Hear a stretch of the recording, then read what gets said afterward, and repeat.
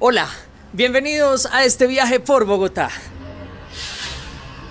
Acá empieza este viaje por la ciudad del Dorado, por la sabana de historias maravillosas, en esta, la capital de Colombia, que guarda tras su clima frío historias maravillosas para recorrer, y es lo que vamos a hacer.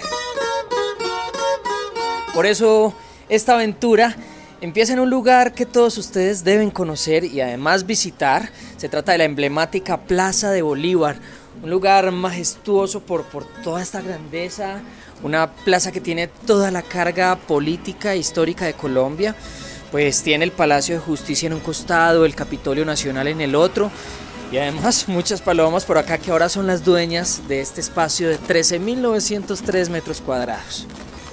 Yo por acá sigo avanzando, siguen las los lugares importantes en esta hermosa ciudad.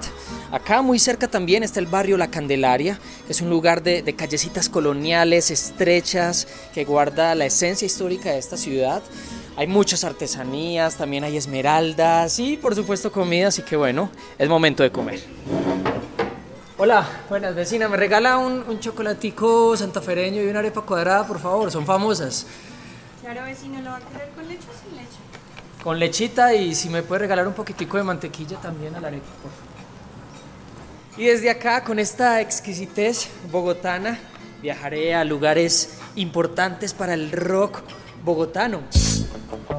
Barrios como Chapinero, con su parque de los hippies y el epicentro de la movida del rock de los años 60 y 70, y el circuito de bares como Mebrana, Enigma, Transilvania, y la floristería y además conciertos que muchos llevan aún en el corazón.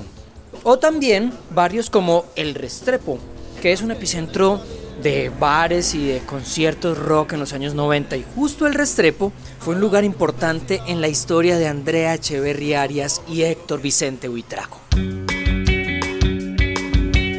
Su historia es sencilla, una historia entre un punk hardcoreero y un artista un poco gomela, ecléctica, y pues esa amistad y luego incluso un noviazgo desencadenó en gustos diferentes en boleros y hardcore, en punk, en rock y en la formación de una banda, Delia y los aminoácidos, año 1990. Pero las cosas cambiarían, su nombre definitivo mutaría a Aterciopelados y empezarían una historia maravillosa que cambiaría la historia del rock en Colombia para siempre. Esa unión, ese cariño, esas canciones y esa historia invaluable se materializó en una canción que nace como homenaje a una pareja vieja guardia que nos enseñó a cantar rock al estilo colombiano. Ellos son Aterciopelados. Esta canción es dúo y este fue el viaje por Bogotá. Dinámico. Somos un clásico. Somos un clásico.